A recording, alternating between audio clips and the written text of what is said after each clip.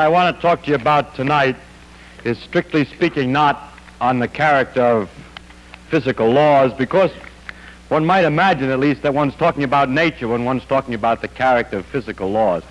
But I don't want to talk about nature, but rather how we stand relative to nature now. I want to tell you what we think we know and what there is to guess and how one goes about guessing it. Someone suggested that it would be ideal is if, as I went along, I would slowly explain how to guess the laws and then create a new law for you right as I went along. I don't know whether I'll be able to do that. but first, I want to tell about what the present situation is, what it is that we know about the physics. You think that I've told you everything already because in all the lectures I told you all the great principles that are known. But the principles must be principles about something. The principles that I just spoke of, the conservation of energy, is the energy of something, and uh, quantum mechanical laws are quantum mechanical principles about something. And the, all these principles added together still doesn't tell us what the content is of the nature, that is what we're talking about. So I will tell you a little bit about the stuff on which all these principles are supposed to have been working. First of all is matter, and remarkably enough, all matter is the same. The matter of which the stars are made is known to be the same as the matter on the earth by the character of the light that's emitted by those stars. They give a kind of fingerprint by which you can tell it's the same kind of atoms in the stars as on the earth. The same kind of atoms appear to be in living creatures as in non-living creatures, frogs are made out of the same goop in different arrangement than uh, rocks. So that makes our problem simpler. We have nothing but atoms, all the same everywhere. And the atoms are all seem to be made from the same general constitution. They have a nucleus, and around the nucleus there are electrons. So I begin to list the parts of the world that we think we know about. One of them is electrons, which are the particles on the outside of the atoms. Then there are the nuclei, but those are understood today as being themselves made up of two other things, which are called neutrons and protons, two particles. Uh, incidentally, we have to see the stars and see the atoms, and they emit light and the light is described by particles themselves, which are called photons. And at the beginning we spoke about gravitation, and if the quantum theory is right, then the gravitation should have some kind of waves which behave like particles too, and they call those gravitons. If you don't believe in that, just read gravity here. The same. Now, finally, I did mention that in uh, what's called beta decay, in which a neutron can disintegrate into a proton, and an electron and a neutrino, or alien antineutrino, there's another particle here, a neutrino. In addition to all the particles that I'm listing, there are, of course, all the antiparticles, but that's a, just a quick statement and takes care of doubling the number of particles immediately. But there's no complications. Now, with the particles that I've listed here, all of the low energy phenomena, all of, in fact, ordinary phenomena that happen everywhere in the universe, as far as we know, with the exception of here and there, some very high energy particle does something, or in the laboratory we've been able to do some peculiar things. But if we leave out those special cases, all ordinary phenomena are presumably explained by the action and emotions of these things, these kind of things. For example, life itself is supposedly made, if understood, I mean understandable in principle, from the action of movements of atoms, and those atoms are made out of neutrons, protons, and electrons. I must immediately say that when we say we understand it in principle, I only mean that we think we would, if we could figure everything out, find uh, that there's nothing new in physics to be discovered in order to understand the, uh, the phenomena of life. Or, for instance, for the fact that the stars emit energy, solar energy, or stellar energy, is presumably also understood in terms of nuclear reactions among these particles and so on. And all kinds of details of the way atoms behave are accurately described in this kind of, with this kind of model, at least as far as we know at present. In fact, I can say that in this range of phenomena today, as far as I know, there are no phenomena that we are sure cannot be explained this way, or even that there's deep mystery about. This wasn't always possible. There was, for instance, for a while a phenomenon called superconductivity. There still is the phenomenon. Uh, which is that metals conduct electricity without resistance at low temperatures, and it was not at first obvious that this was a consequence of the known laws with these particles, but it turns out that it has been thought through carefully enough, and it's seen, in fact, to be a consequence of known laws. There are other phenomena, such as extrasensory perception, which cannot be explained by this known knowledge of physics here. And uh, it is interesting, however, that that phenomenon has not been well established, and uh, that uh, we cannot guarantee that it's there. So, if it could be demonstrated, of course, that would prove that the physics is incomplete, and therefore it's extremely interesting to physicists, whether it's right or wrong. And uh, many, many experiments exist which show it doesn't work. The same goes for astrological influences. If it were true that the stars could affect the day that it was good to go to the dentist, then, as in America we have that kind of astrology, then it would be wrong. The physics theory would be wrong because there's no mechanism by, uh, understandable in principle from these things that would make it go. And that's the reason that there's some skepticism among scientists with regard to those ideas. I on the other hand, in the case of hypnotism, at first it looked like that also would be impossible when it was described incompletely, but now that it's known better, it is realized that it is not absolutely impossible that hypnosis could occur through normal physiological but unknown processes. It doesn't require uh, some special new kind of force. Now, today, the knowledge, although the knowledge of the theory of what goes on outside the nucleus of the atom seems precise and complete enough in the sense that given enough time we can calculate anything as accurately as it can be measured. It turns out that the forces between neutrons and protons which constitute the nucleus are not so completely known and are not understood at all well. And that's what I mean by that is that we cannot today, no, we do not today understand the forces between neutrons and protons to the extent that if you wanted me to, and gave me enough time and computers, I could calculate exactly the energy levels of carbon or something like that because we don't know enough about that. Although we can do the corresponding thing for the energy levels of the outside electrons of the atom, we cannot for the nuclei. So the nuclear forces are still not understood very well.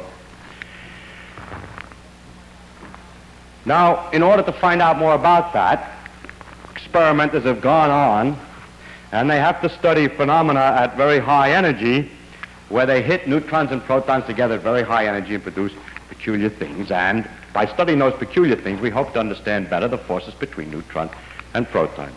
Well, a Pandora's box has been opened by these experiments, although all we really wanted was to get a better idea of the forces between neutrons and protons. When we hit these things together hard, we discover that there are more particles in the world.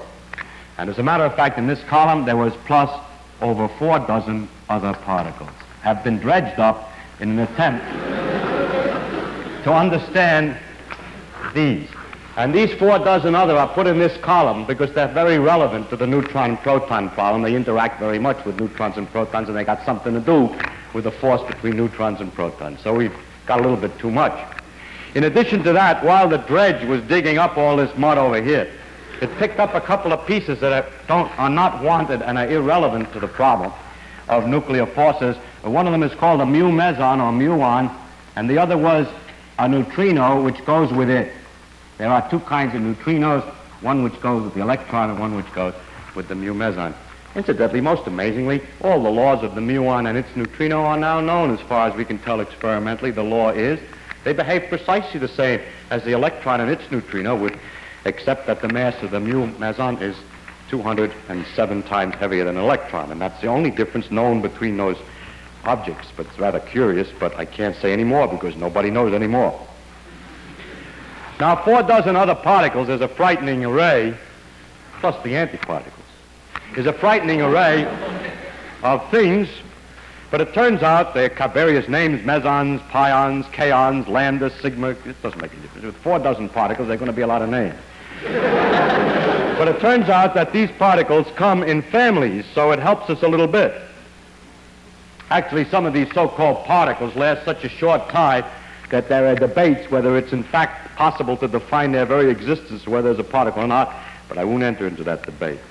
In order to illustrate the family idea, I take the two part cases of a neutron and a proton. The neutron and proton have the same mass within a tenth of a percent or so. One is 1836, the other is 1839 times as heavy as an electron, roughly, if I remember the numbers very. But the thing that's very remarkable is this, that for the nuclear forces, which are the strong forces inside the nucleus, the force between a pair of protons, two protons, is the same as between a proton and a neutron, and is the same again between a neutron and a neutron. In other words, for the strong nuclear forces, you can't tell a proton from a neutron. Or a symmetry law. Neutrons may be substituted for protons without changing anything, provided you're only talking about the strong forces. If you're talking about electrical forces, oh no, if you change a neutron for a proton, you have terrible difference because the proton carries electrical charge and a neutron doesn't. So by electrical measurement, immediately you can see the difference between a proton and a neutron. So this symmetry, that you can replace neutrons by protons, is what we call an approximate symmetry. It's right for the strong interactions and nuclear forces. But it's not right in some deep sense in nature because it doesn't work for the electricity. This is called a partial symmetry, and we have to struggle with these partial symmetries. Now, the families have been extended. It turns out that the substitution neutron-proton can be extended to substitution over a wider range of particles, but the accuracy is still lower. You see, that neutrons can always be substituted for protons is only approximate. It's not true for electricity. And that the wider substitutions that have been discovered are legitimate is still more poor, a very poor uh, symmetry, not very accurate. But they have helped to gather the particles into families and thus to locate places where particles are missing and to help to discover the new ones. This kind of game of roughly guessing at family relationships and so on is illustrative of the kind of preliminary sparring which one does with nature before really discovering some deep and fundamental law, before you get the deeper discoveries. Examples are very important in the previous history of science. For instance, Mendeleev's discovery of the periodic table for the elements is analogous to this game. It is the first step, but the complete description of the reason for the periodic table came much later with atomic theory. In the same way, uh, organization of the knowledge of nuclear levels and characteristics was made uh, by Maria Mayer and Jensen in the, what they call the shell model of nuclei some years ago, and it's an analogous game in which a reduction of the complexity is made by some approximate guesses. And that's the way it stands today. In addition to these things, then we have all these principles that we were talking about before. Principle of relativity, that the things must behave quantum mechanically, and combining that with the relativity, that all conservation laws must be local. And so we put all these principles together, we discover there are too many. They're inconsistent with each other. It seems as if if we add quantum mechanics plus relativity plus the proposition that everything has to be local, plus a number of tacit assumptions which we can't really find out because we're prejudiced. We don't see what they are, and it's hard to say what they are. Adding it all together, we get inconsistency because we really get infinity for various things when we calculate them. Well, if we get infinity, how will we ever agree that this agrees with nature? It turns out that it's possible to sweep the infinities under the rug by a certain crude skill, and temporarily we're able to keep on calculating. But the fact of the matter is, that all the principles that I told you up till now, if put together, plus some tacit assumptions that we don't know, is uh, gives trouble. They cannot mutually consistent. Nice problem. Uh, example of the tacit assumptions that we don't know whether what the significance is. Such propositions as the following: If you calculate the chance for every possibility, if there's 50% probability this will happen, 25% that'll happen. It should add up to one. We think that if you add all alternatives, you should get 100% probability. That seems reasonable, but reasonable things are where the trouble always is. Another proposition is that the energy of something must always be positive. It can't be negative. Another proposition that is probably added in in order before we get inconsistency is what's called causality, which is something like the idea that effects cannot precede their causes. Actually, no one has made a model in which you disregard the proposition about the probability or you disregard the causality, which is also consistent with quantum mechanics, relativity, locality, and so on. So we really do not know exactly what it is we're assuming that gives us the infinite, the difficulty producing infinities. Okay, now that's the present situation. Now I'm going to discuss how we would look for a new law. In general, we look for a new law by the following process. First, we guess it. then we, well, don't laugh, that's really true. Then we compute the consequences of the guess to see what, if this is right, if this law that we guessed is right, we see what it would imply, and then we compare those computation results to nature, or we say compare to experiment or experience,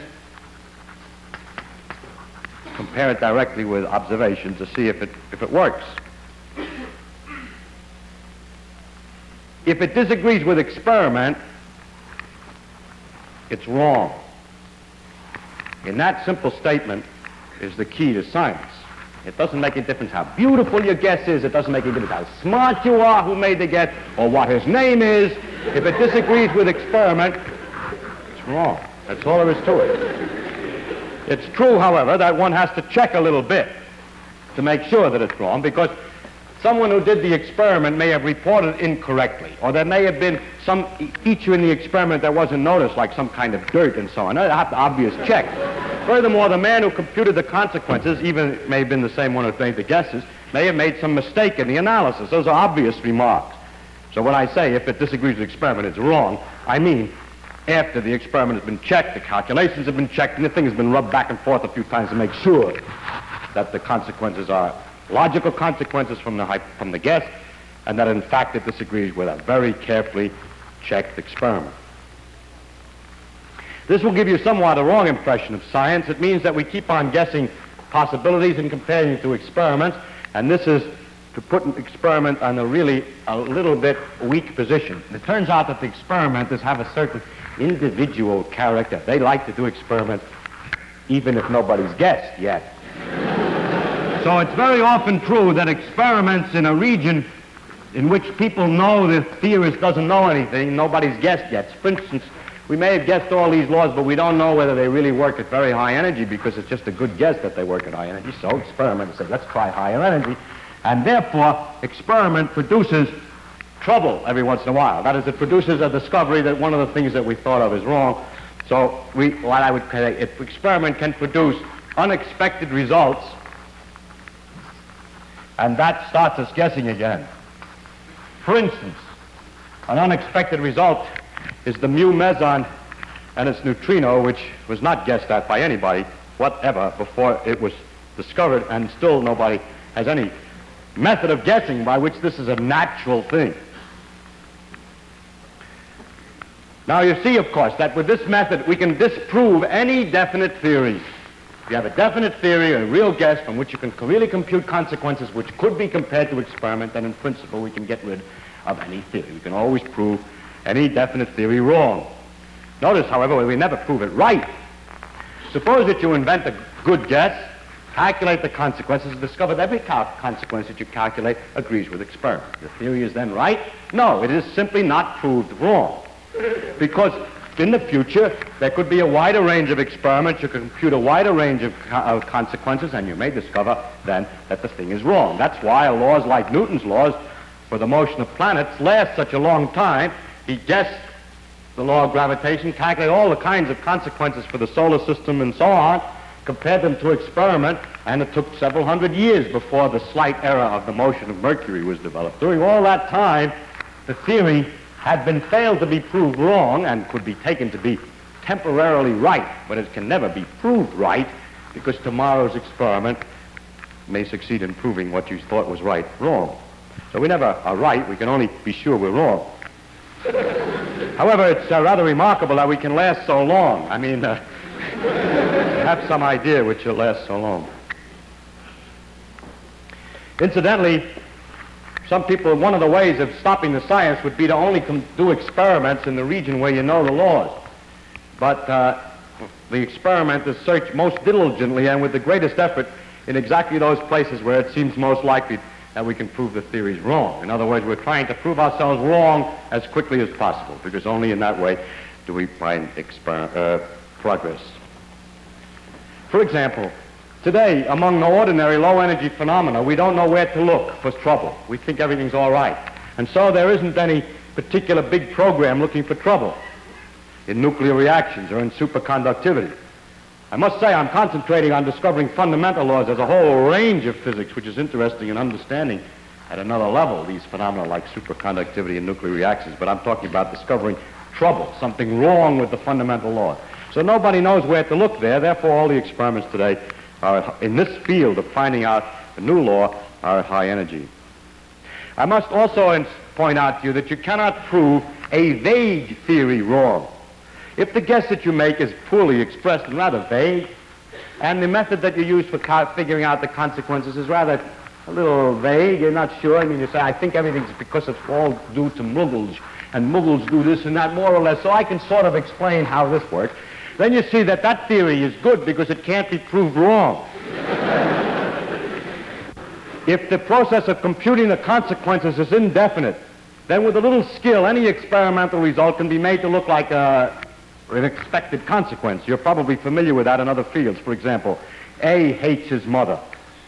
The reason is, of course, because she didn't caress him or love him enough uh, when he was a child. Actually, if you investigate, you find out that, as a matter of fact, she, he did love him very much and everything was all right. Well, then, it's because she was overindulgent when he was young. so by having a vague theory, it's possible to get either result. Oh, wait.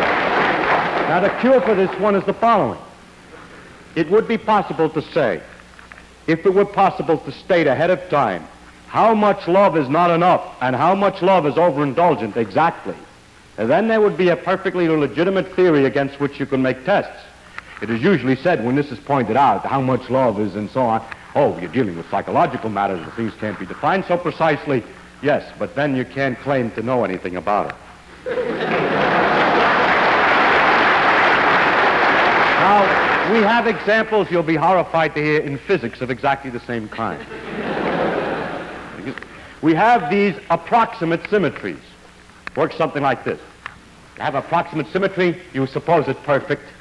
Calculate the consequences. Easy if you suppose it perfect. Compare with experiment. Of course, it doesn't agree. Because, of course, the symmetry you're supposed to expect is approximate. So if the agreement is pretty good, you say nice if the agreement is very poor, you say, well, this particular thing must be especially sensitive to the failure of the symmetry. Now, you laugh, but we have to make progress in that way. In the beginning, when the subject is first new, and these particles are new to us, this jockeying around, this is a feeling way of guessing at the result. And this is the beginning of any science. And the same thing is true of psychology as it is of the symmetry propositions in the physics. So don't laugh too hard. It's necessary in the very beginning to be very careful.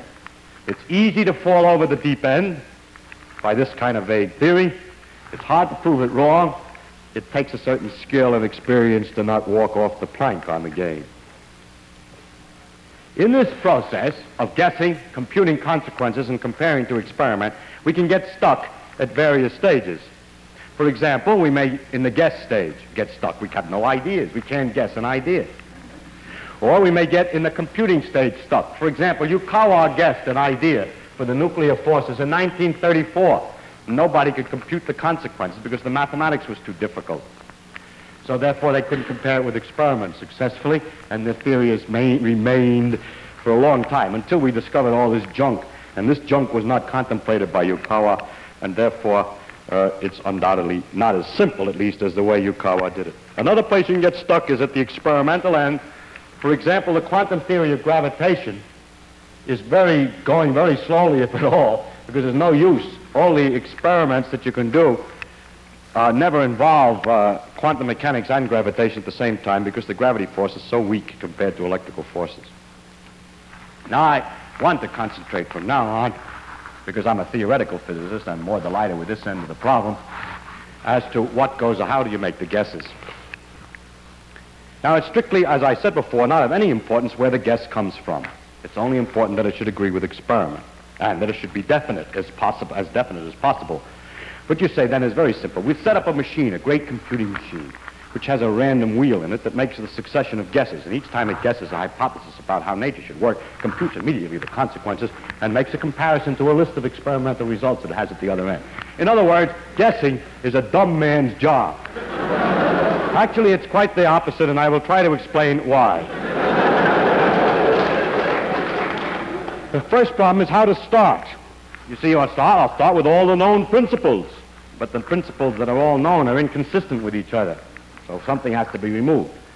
So we get a lot of letters from people. We're always getting letters from people who are insisting that we ought to make holes in our guesses as follows. You see, you make a hole to make room for a new guess. Somebody says to you, you know, you all, people always say space is continuous, but how do you know when you get to a small enough dimension that there really are enough points in between? It isn't just a lot of dots separated by little distances. Or they say, you know those quantum mechanical amplitudes that you told me about, they're so complicated and absurd. What makes you think those are right? Maybe they aren't right.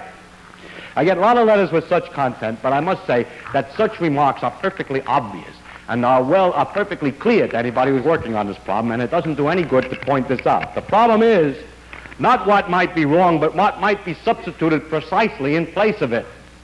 If you say anything precise, for example, in the case of a continuous space, suppose the precise proposition is that space really consists of a series of dots only, and the space between them doesn't mean anything, and the dots are in a cubic array. Then we can prove that immediately is wrong. That doesn't work. You see, the problem is not to make, to change or to say something might be wrong, but to replace it by something. And that is not so easy. As soon as any real, definite idea is substituted, it becomes almost immediately apparent that it doesn't work. Secondly, there's an infinite number of possibilities uh, on these, of these simple types. It's something like this. You're sitting working very hard. You work for a long time trying to open a safe. And some Joe comes along who hasn't doesn't know anything about what you're doing or anything except that you're trying to open a safe. He says, you know, why don't you try the combination 10, 20, 30? Because you're busy. You're trying a lot of things. Maybe you already tried 10, 20, 30. Maybe you know that the middle number is already 32 and not 20. Maybe you know that, as a matter of fact, this is a five-digit combination. There we are. so these letters don't do any good, and so please don't send me any letters trying to tell me how the thing is going to work. I don't, I read them to make sure that I haven't already thought of that. But it takes too long to answer them because they're usually in the class try 10, 20, 30.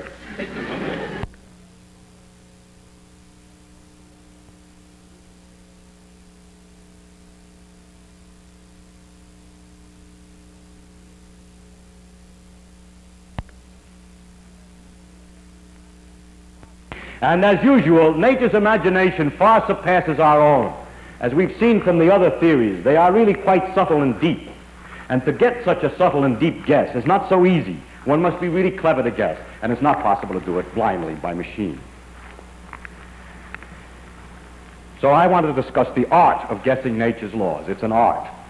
How is it done? One way you might think, well, look at history. How did the other guys do it? so look at history. We first start out with Newton. He has in a situation where he had incomplete knowledge.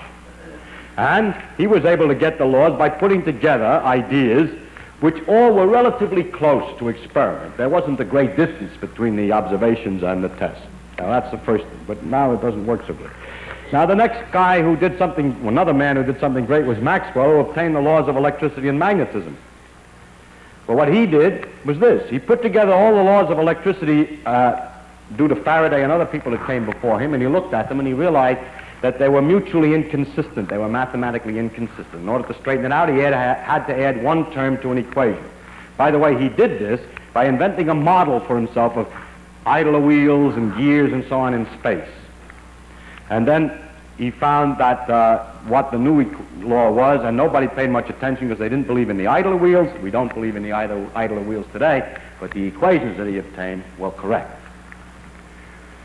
So the logic may be wrong, but the answer is all right. In the case of relativity, was the discovery of relativity was completely different. There was an accumulation of paradoxes. The known laws gave inconsistent results, and it was a new kind of thinking, a thinking in terms of discussing the possible symmetries of laws. And it was especially difficult because it was at the first time realized how long something like Newton's laws could be right and still ultimately be wrong. And second, that ordinary ideas of time and space that seem so instinctive could be wrong.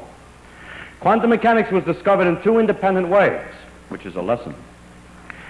There again, and even more so, an enormous number of paradoxes were discovered experimentally, things that absolutely couldn't be explained in any way by what was known. Not that the knowledge was incomplete, but the knowledge was too complete. Your prediction was this should happen, it didn't. The two different routes were one by Schrödinger, who guessed the equations, another by Heisenberg, who argued that you must analyze what's measurable. So two different philosophical methods reduced to the same discovery in the end. More recently, the discovery of the laws of this interaction, which are still only partly known, had, had quite a somewhat different situation. Again, there was a, this time it was a case of incomplete knowledge, and only the equation was guessed. The special difficulty this time was that the experiments were all wrong. All the experiments were wrong. Now, how can you guess the right answer when, when you calculate the results, it disagrees with the experiment, and you have the courage to say the experiments must be wrong? I'll explain where the courage comes from in a minute.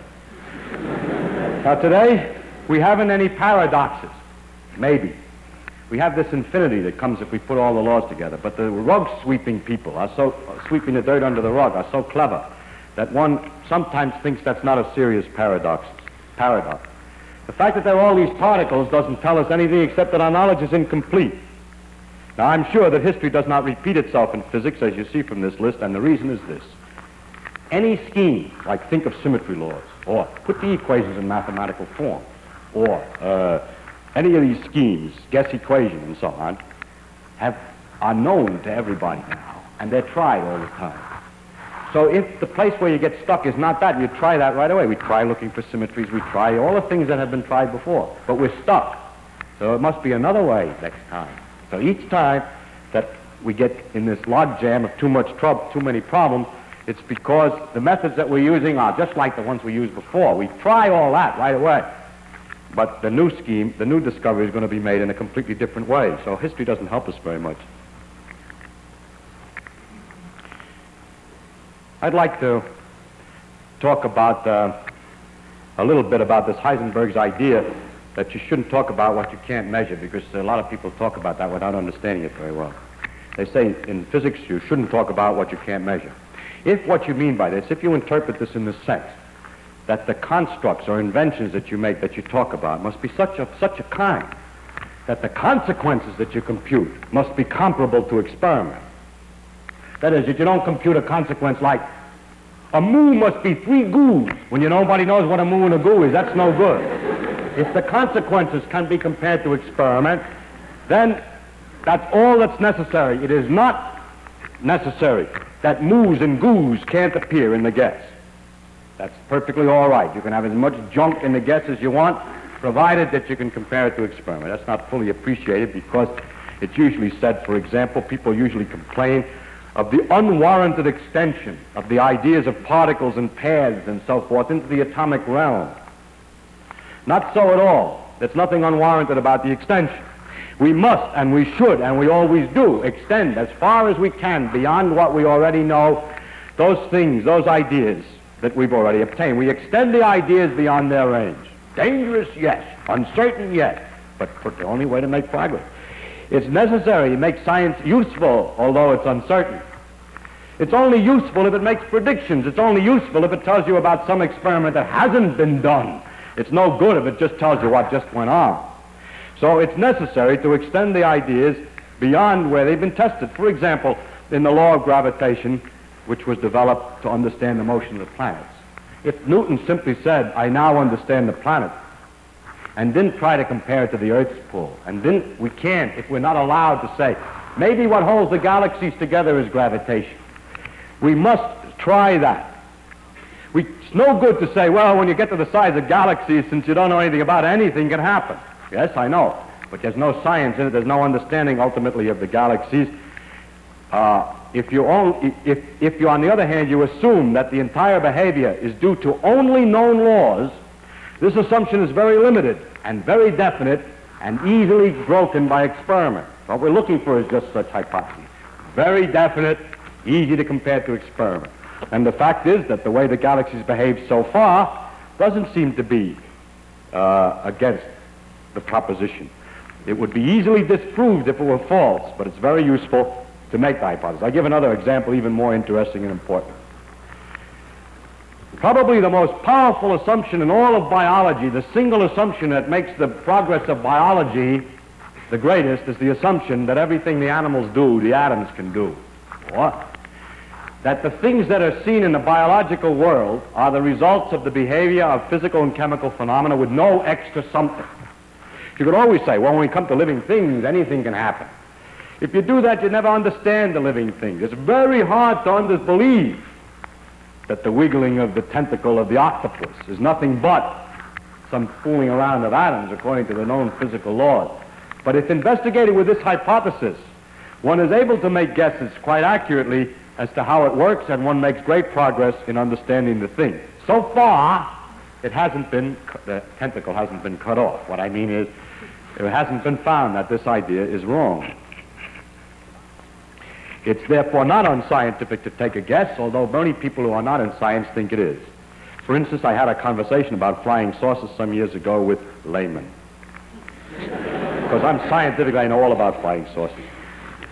So I said, I don't think there are flying saucers. So the other, my antagonist said, is it impossible that there are flying saucers? Can you prove that it's impossible? I said, no, I can't prove it's impossible. It's just very unlikely. That, they say, you are very unscientific. If you can't prove it impossible, then why, how can you say it's likely that it's unlikely?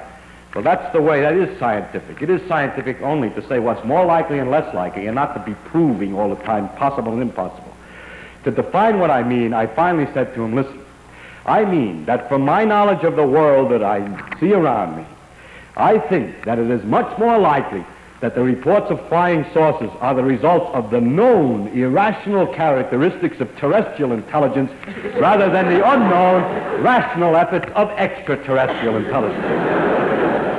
it's just more likely, that's all. And it's a good guess. And we always try to guess the most likely explanation, keeping in the back of the mind the fact that if it doesn't work, then we must discuss the other possibilities. Now, how to guess at what to keep and what to throw away. You see, we have all these nice principles and known facts and so on, but we're in some kind of trouble. That we get the infinities or we don't get enough of a description, we're missing some parts, and sometimes that means that we have probably to throw away some idea. At least in the past, it's always turned out that some deeply held idea has to be thrown away, and the question is what to throw away and what to keep. If you throw it all away, it's going a little far, and you don't got much to work with. After all, the conservation of energy looks good and it's nice. I don't want to throw it away, and so on. What to, to guess what to keep and what to throw away takes considerable skill.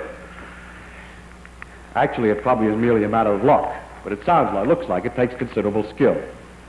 For instance, probability amplitudes are very strange, and the first thing you'd think is that the strange new ideas are clearly cockeyed. And yet everything that can be deduced from the ideas of the existence of quantum mechanical probability amplitude, strange though they are, all the things that depend on that work throughout. All these strange particles work 100%. Everything that depends on that seems to work. So I don't believe that that idea is wrong and that when we find out what the inner guts of this stuff is, we'll find that idea is wrong. I think that part's right. I'm only guessing. I'm telling you how I guess. For instance, that space is continuous is, I believe, wrong.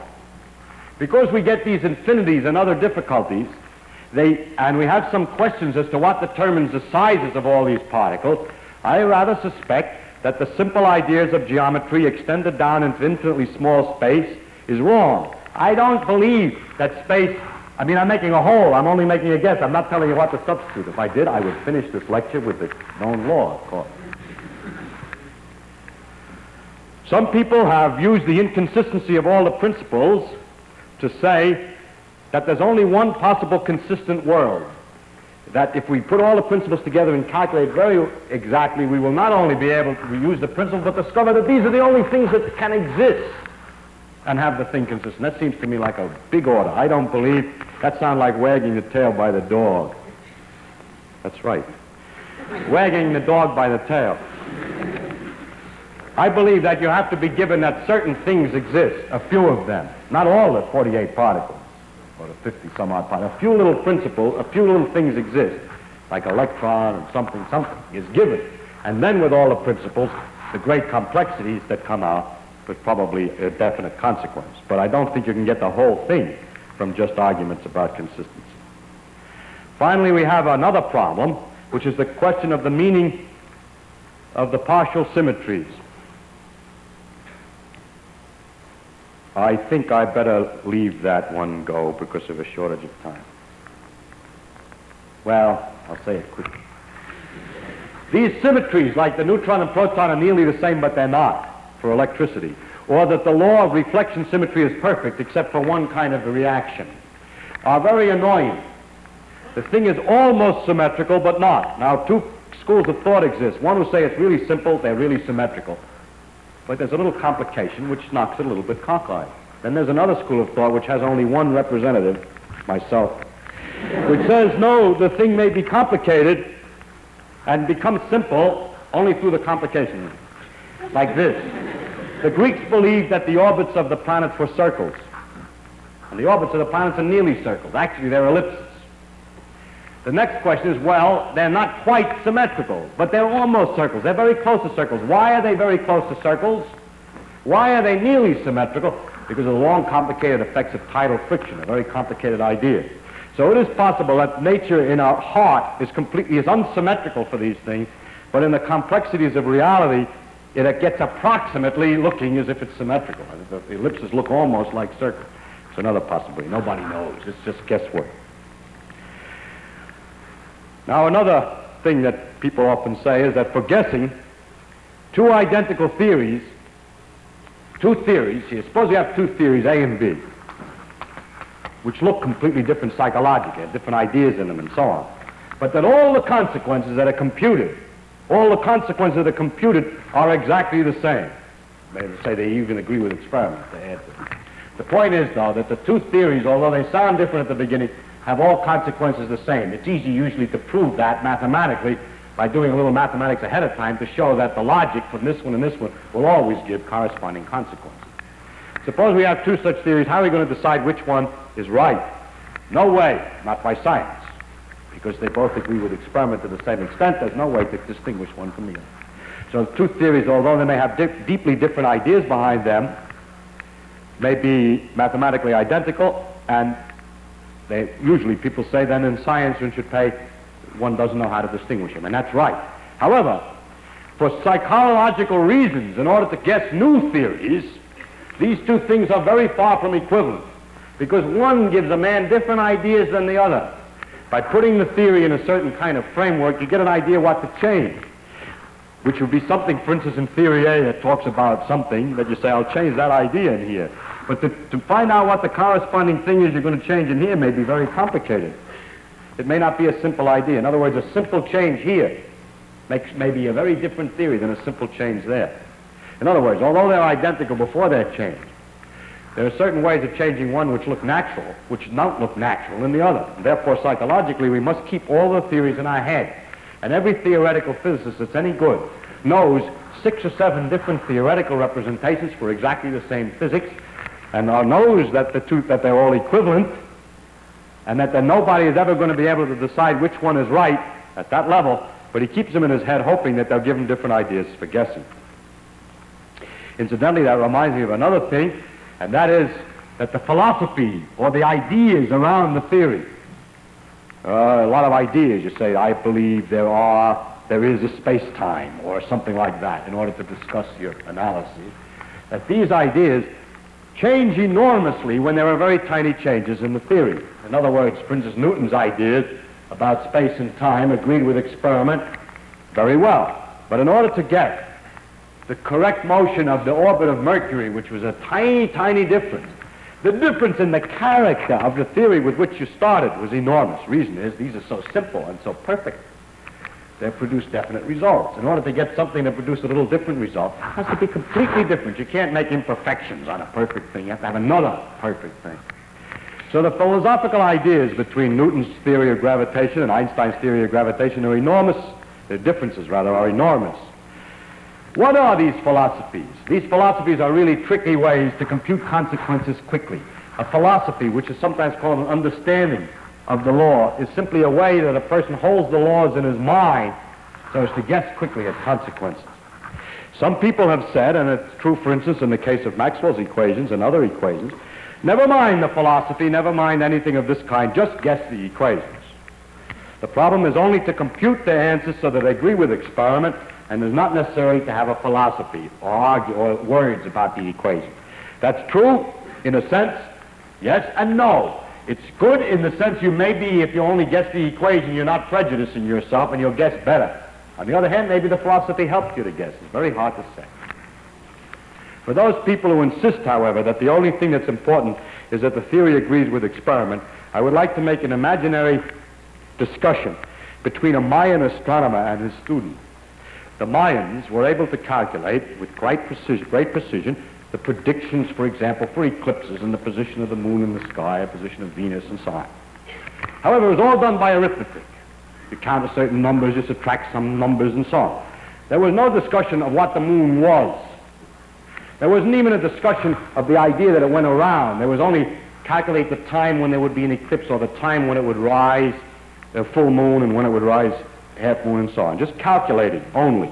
Suppose that a young man went to the astronomer and said, I have an idea. Maybe those things are going around, and there are balls of, of rocks out, like rocks out there. We could calculate how they move in a completely different way than just calculate the, what time they appear in the sky and so on. So, the, of course, the Mayan astronomer would say, yes, how accurate can you predict eclipses? He said, I haven't developed the thing very far. He says, but we can calculate eclipses more accurately than you can with your model, and so you must not pay any attention to this because the mathematical scheme is better. And there's a very strong tendency of people to say against some idea, if someone comes up with an idea and says, let's suppose the world is this way, and you say to him, well, how would you get, what would you get for the answer for such and such a problem? And he says, I haven't developed it far enough. And you say, well, we have already developed it much further, and we can get the answers very accurately. So it is a problem as to whether or not to worry about philosophies behind ideas.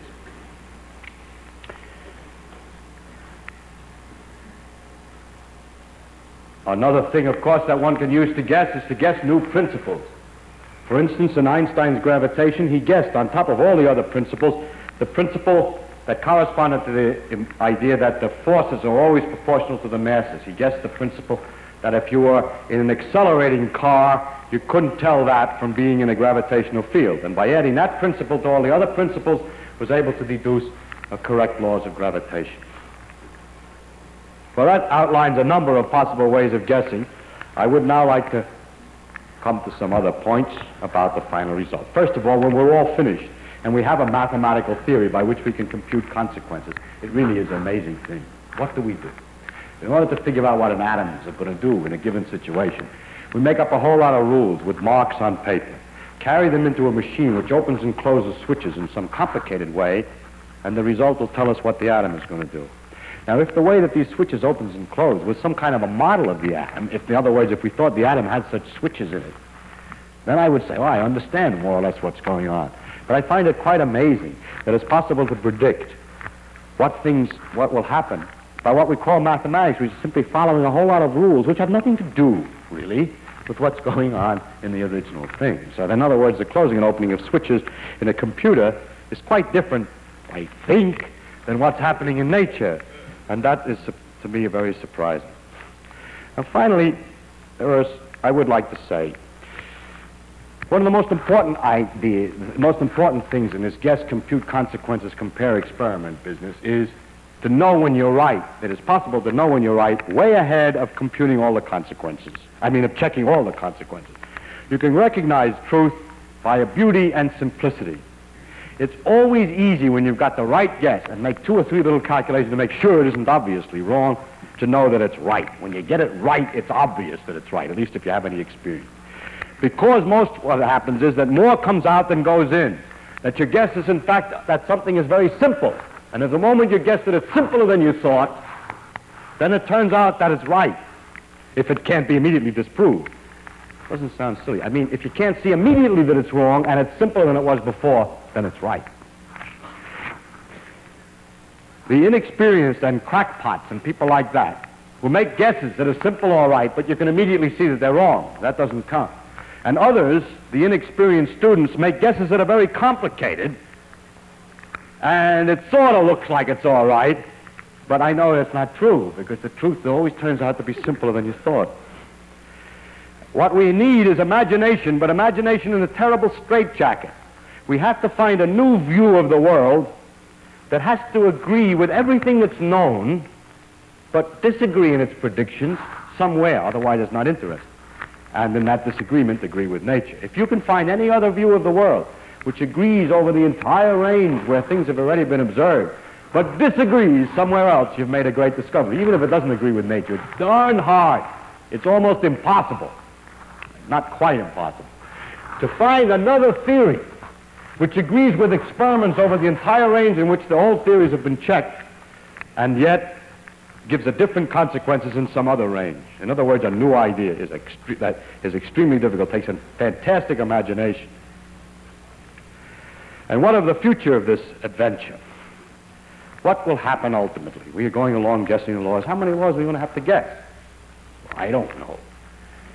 Some of my, let's say, some of my colleagues say, well, science will go on, but certainly not, there will not be perpetual novelty, say, for a thousand years. This thing can't keep on going. We're always going to discover new laws, new laws, new laws. If we do, it'll get boring that there are so many levels, one underneath the other. So the only way that it seems to me that it can happen, that can happen, what can happen in the future is first, either that everything becomes known, that all the laws become known. That would mean that after you had enough laws, you could compute consequences, and they would always agree with experiment, which would be the end of the line. Or it might happen that the experiments get harder and harder to make, more and more expensive, that you get 99.9% of the phenomena, but there's always some phenomenon which has just been discovered that's very hard to measure, which disagrees and gets harder and harder to measure. As you discover the explanation of that one, there's always another one, and it gets slower and slower and more and more uninteresting. That's another way that it can end. But I think it has to end in one way or another. And I think that we are very lucky to live in an age in which we're still making the discoveries. It's an age which will never come again. It's like the discoveries of America you can only discover it once. It was an exciting day when there was investigations of America. But the age that we live in is the age in which we are, dis- are discovering the fundamental laws of nature. And that day will never come again. Uh, I don't mean we're finished. I mean we're right in the process of making such discoveries. It's very exciting. It's marvelous. But this excitement will have to go. Of course, in the future there will be other interests. There'll be interests on the of the connection of one level of phenomena to another, phenomena in biology and so on, all kinds of things. Or if you're talking about explorations, exploring planets and other things. But there will not still be the same thing as we're doing now. It'll be just different interests. Another thing that will happen is that if all is known, ultimately, if it turns out all is known or it gets very dull, the vigorous philosophy and the careful attention to all these things that I've been talking about will gradually disappear. The philosophers who are always on the outside making stupid remarks will be able to close in because we can't push them away by saying, well, if you were right, you'd be able to guess all the rest of the laws. Because when they're all there, they'll have an explanation for it. For instance, there are always explanations to why the world is three-dimensional. Well, there's only one world, and it's hard to tell if that explanation is right or not. So if everything were known, there would be some explanation about why those are the right laws. But that explanation will be in a frame that we can't criticize by arguing that that type of reasoning will not permit us to go further. So there will be a degeneration of the ideas, just like the degeneration that great explorers feel occurs when tourists begin moving in on the territory.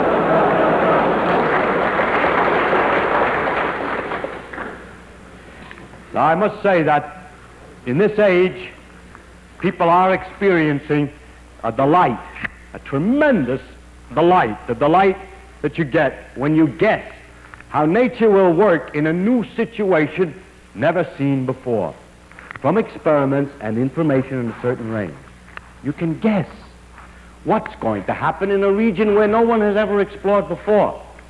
It's a little different than regular exploration. There is, there's enough clues on the land discovered to guess what the land is going to look like that hasn't been discovered. And these guesses, incidentally, are often very different than what you've already seen. It takes a lot of thought. What is it about nature that lets this happen? That is possible to guess from one part what the rest is going to do. That's an unscientific question. What is it about nature? I don't know how to answer. And I'm going to give, therefore, an unscientific answer. I think it is because nature has a simplicity and therefore a great beauty. Thank you very much.